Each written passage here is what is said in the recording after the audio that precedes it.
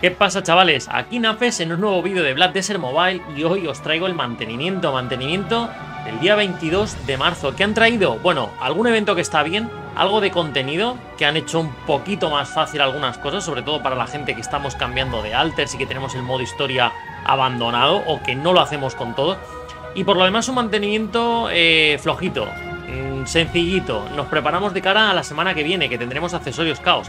De momento, vamos a ver todo el, eh, todo el contenido que han puesto esta semana, pero antes un like, un follow y comparte que se ayudaría, se agradecería muchísimo y ayudaría muchísimo al canal. Ahora sí, vamos con el mantenimiento. Bueno, ¿qué nos han puesto hoy? Lo primero de todo, vamos a empezar por los eventos. ¿Qué tenemos? El evento del bingo. La verdad que me han alegrado, me han alegrado el día. Creo que es de las pocas cosas hoy que me han alegrado el día del mantenimiento porque fijaos, nos dan 6K de pergaminos de recuperación. Para los que no tengamos o para los que andan, andemos buscando como locos, es un evento muy bueno, 6K, que oye, por lo menos ya te aseguran. ¿Cómo lo conseguimos? Nada, simplemente usamos plata y enemigos de alrededor, no hay que hacer absolutamente nada más. Tendremos 6 días y en principio tiene que dar tiempo para que lo completemos de sobra, ¿vale? Cada día nos van a estar dando, eh, lo que veo aquí, 10 fichas, que serían 5 entradas, ¿vale? Y nos tendría que dar de sobra para completarlo. Siguiente evento.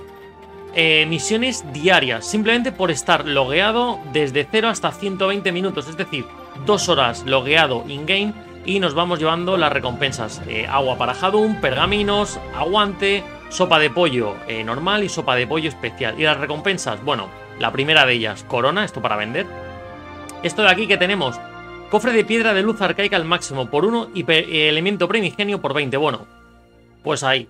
Un PRT, no son 30 perros, ¿eh? Esto es cuando hagamos 30 misiones, porque muchas veces la gente lo confunde, no son 30 perretes, es un perro. Luego aquí nos dan hojas de cafras y libro.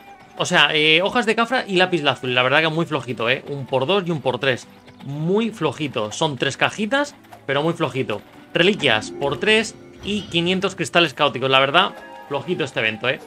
Desafío de los jefes. Entre el sábado, domingo y lunes, entre las 12 de la mañana y las 10 de la noche van a dar entradas al buzón, ¿vale? Para poder hacer los eventos, tanto de uno del laberinto como eh, en Hadum. Quedan, bueno, pues la exploración del laberinto 5, eh, dos pergas, tiempos enredados, una mascota eh, de, de de nivel 6 y tablillas. Bueno, no está mal. Fragmentos de dimensión por 100 y agua bendita por 300. Los fragmentos de dimensión, la verdad que bien, son 3 días que se hace y serán 300 fragmentos. Bueno, ahí está. Misiones diarias. Una misión del espíritu oscuro, 9 eh, sembrar en el huerto y talar por 10. Y esto es lo que nos darán. El primer ítem es para vender. El segundo son 10k de residuos mágicos y piedrecitas para reforzar 150. Lo bueno de las eh, de las semanales, que perdón, de las completas, una vez que hayamos hecho 9, 50k de cafras, 10 cristales eh, avisales, que pueden haber dado algún dimensional, la verdad, y 1500 fragmentos de Ireli. La verdad que también flojito. Y no hay nada más en cuanto a eventos. Esto es lo único que tenemos. Eh, todos duran una semana, menos este, que tenemos dos semanas para completarlo. Y la verdad que bastante flojitos. Bueno, ¿qué es lo que han añadido en cuanto a contenido? Vamos a ver, lo primero de todo, sabemos que tenemos, eh, para ir a, Hadum, para conseguir el conocimiento de las zonas de Hadum, sabemos que tenemos lo que son eh, las expediciones. Podemos enviar dos expediciones cada 8 horas y podemos enviarlas a la zona de Hadum donde nuestro alter cumpla con los requisitos de CP. Vale, ¿qué han hecho ahora? A través de una misión que se llama el rey, el llamado del rey de Valencia, ¿vale?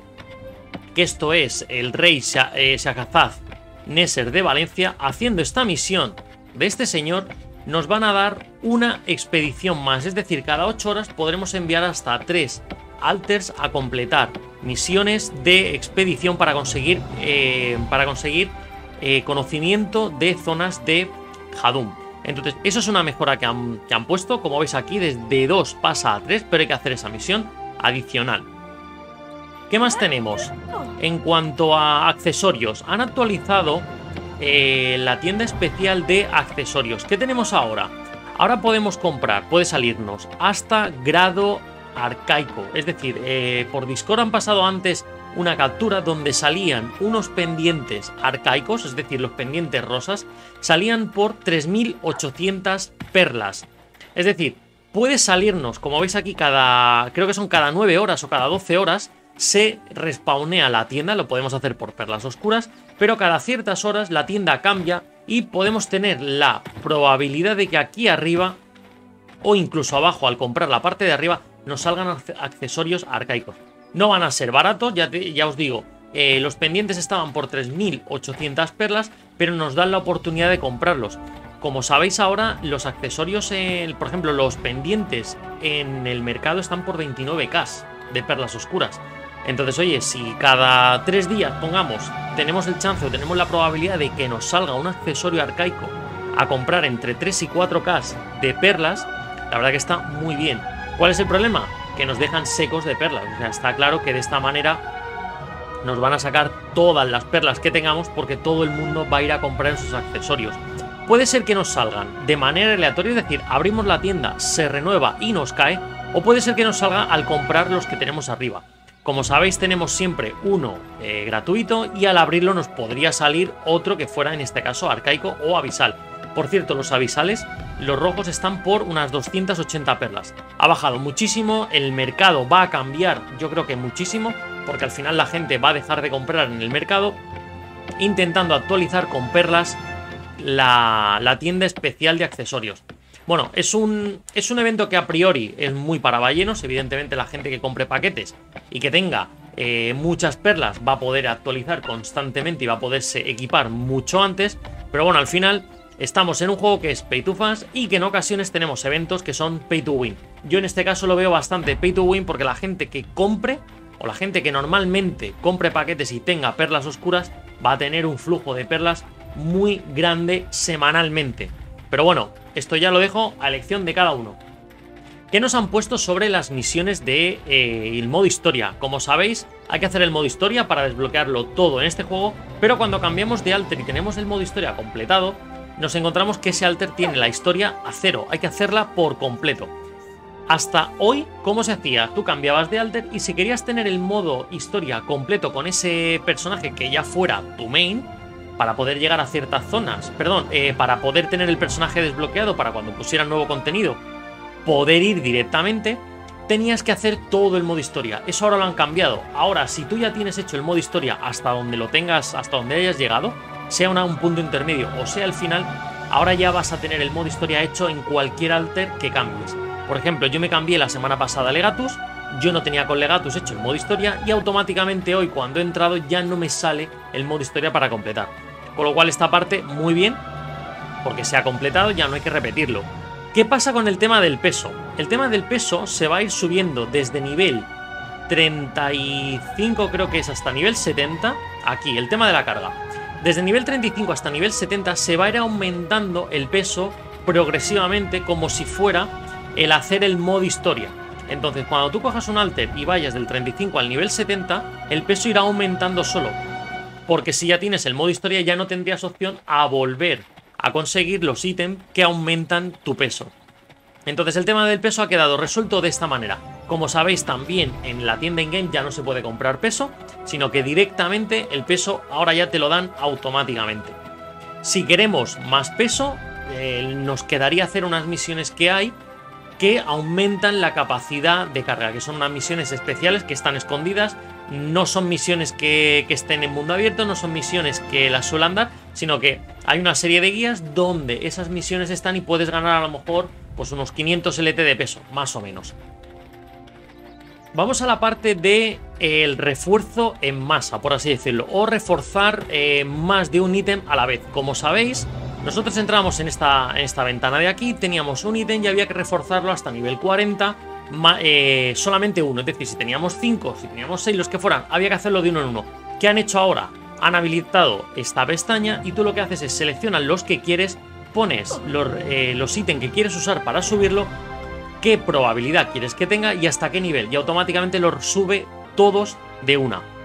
Eh, esto está muy bien, pero esto está muy bien que lo hubieran puesto hace mucho tiempo. Ahora todo esto lo ponen de cara a que los nuevos eh, jugadores lleguen antes o inviertan, tengan que invertir menos tiempo en las primeras pues 4 8 semanas de juego. Es decir, todo esto tú lo haces de golpe, pones una pieza, de hecho yo esto lo he sufrido hace dos meses, cuando con la cuenta, la cuenta que hice, la, la lista de vídeos de cuenta desde cero, tenía que subir pieza a pieza eh, para poderla reforzar. Ahora todo eso se haría del tirón. Está muy bien, pero esto estaría bien que lo hubieran puesto un poquito antes. De todas formas, para nuevos jugadores va muy bien porque va a ser mucho más ágil todo el proceso de subir y reforzar el equipamiento. Un punto importante de esta, de esta pestaña es que aparece cuando tenemos el nivel de espíritu oscuro a nivel 130 o superior, es decir, a nivel 50 no nos va a servir, a nivel 20 no nos va a servir hasta que no lo tengamos a nivel 130, importante. Han hecho mejoras también en el balanceo de la, de la Shai, le han cambiado dos habilidades, esto lo veremos en vídeos donde que quiero hacer un vídeo analizando, eh, haciendo una review de la Shai, porque ahora la han puesto muy fuerte y está muy bien, parece que para el PvP, lo haré eso en un vídeo aparte. ¿Qué más tenemos?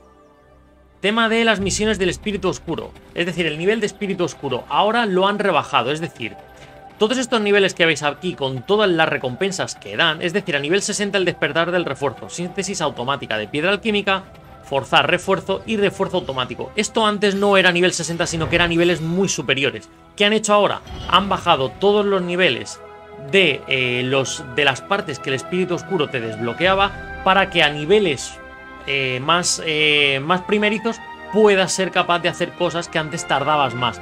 Yo me acuerdo antes que a lo mejor para reforzar automáticamente eh, el, el tótem tenías que llegar a un cierto nivel. Pues ahora seguramente eso lo hayan bajado bastante el nivel.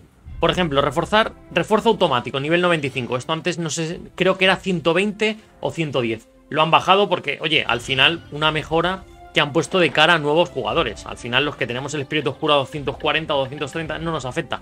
Pero para nuevos jugadores, la verdad que esto está pues muy bien. Una mejora que han puesto en el tema de eh, la hermandad. Han mejorado que el tema de rendirse en guerra sea 5.000 puntos. La verdad no sé cuánto era antes, lo han bajado a 5.000.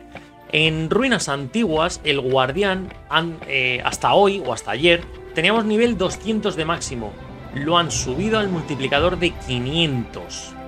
Es una subida bastante buena.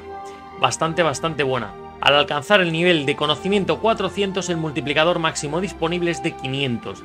Esto está muy bien. Yo ahora el conocimiento no sé si lo tengo en 200 largos o en 300 y mucho. Y, tendría el conocimiento, o sea, tendría el multiplicador de esta manera. Pues esto lo han cambiado. El máximo era 200, ahora el máximo es 500. Esto lo único que va a hacer es que gastemos más tablillas de golpe.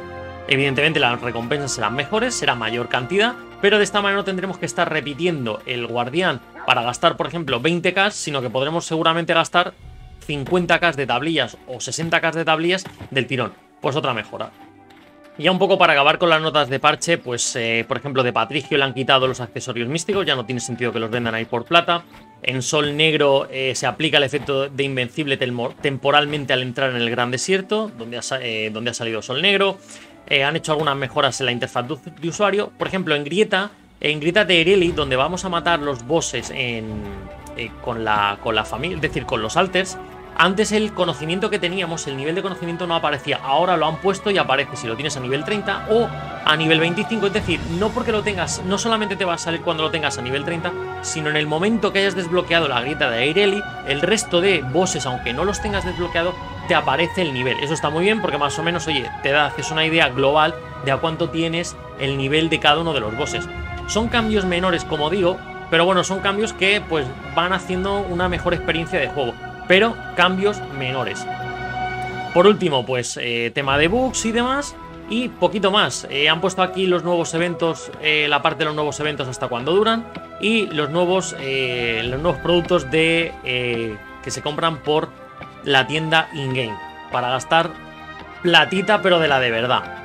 Y gente, la verdad, poquito más. este ha sido el mantenimiento esta semana. Vamos a ver la semana que viene con caos. Espero que pongan algún evento sobre todo para conseguir em, accesorios, para la gente que le falten accesorios arcaicos, pero por evento, que no sea gastando, eh, como, han puesto, como han puesto esta semana, el tema de perlas oscuras. Y espero que la semana que viene haya también algún evento para cristales dimensionales. Porque en el momento que tengamos caos hay que volver a empezar a equipar cristales dimensionales. Y nada, gente, no me hago más largo el vídeo. Muchas gracias por pasaros. Aquí eh, tenéis eh, Twitch, acordaos, todas las tardes, 5 y media de la tarde, directos en Twitch. Black Desert Mobile y algunos días Black Desert Online. Eh, y nada, hasta aquí el vídeo. Gente, gracias por pasaros. Un saludo y nos vemos. Chao, chao.